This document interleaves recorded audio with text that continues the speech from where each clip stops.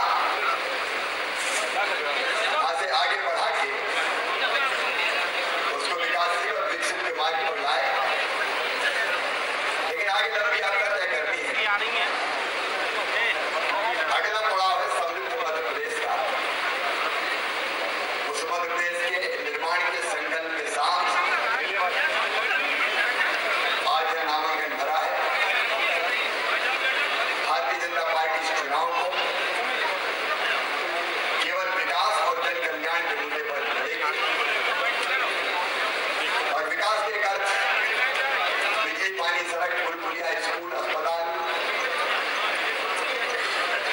college, ITI, railway line, highway पीने के पानी की व्यवस्था करना, गाँव का विकास, शहरों का विकास। ये तो है ही। लेकिन मैंने कई बार कहा कि